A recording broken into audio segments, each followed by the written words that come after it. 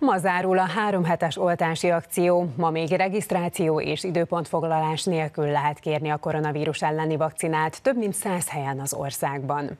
Az oltási akcióban eddig több mint 1 millió 300 ezeren kérték az oltást. Kacskovics Imre, az ELTE természettudományi karának dékánja az M1-en arról beszélt, azt még nem tudni, hogy az Omikron enyhébb variánsa a deltánál, de az biztos, hogy fertőző képesebb, ezért mindenképpen érdemes mindhárom oltást felvenni.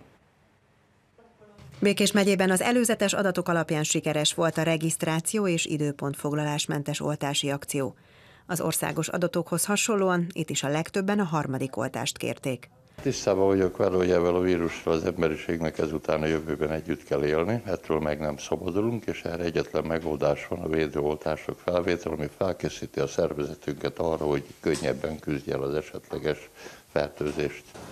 A Pécsi oltóponton ma 7-800 főre számítanak. Az elmúlt három hétben mintegy 23 ezer oltást adtak be a klinikai központ munkatársai. Nagyon fontosnak tartom saját maguk védelmében.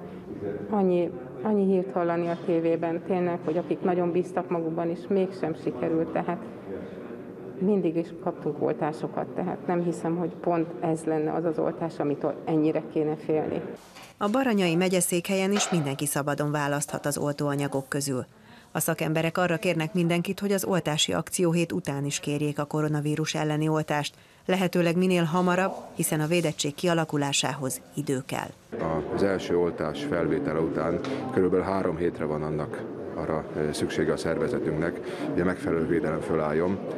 A harmadik oltás felvétele után pedig körülbelül két héttel számol a szakirodalom, mire a védettségünk újra megfelelő lesz, ami szükséges ahhoz, hogy ezeket a súlyos vagy halálos szövődményeket elhárítsuk.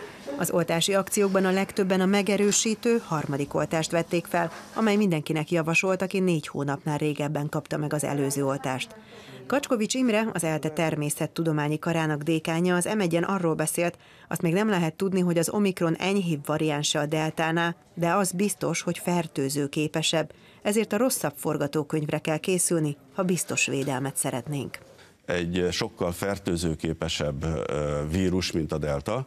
Most azt tűnik valószínűnek, hogy gyakorlatilag letarolja egész Európát, Észak-Amerikát és és nyilván Magyarországot is le fogja tarolni egy bizonyos egy-két hónap elteltével, átveszi a deltától az uralkodó szerepet, és abban az esetben, hogyha ez legalább olyan súlyos hatású, mint a delta volt, vagy a delta jelenleg is, akkor itt nagyon sokan meg fognak betegedni, főleg azok, akik nincsenek beoltva egyszer sem.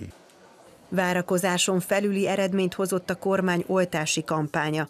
A nagy sikerre való tekintettel az első oltási akcióhét után a kormány további két héttel hosszabbította meg az előzetes regisztráció és időpontfoglalás nélküli oltások lehetőségét.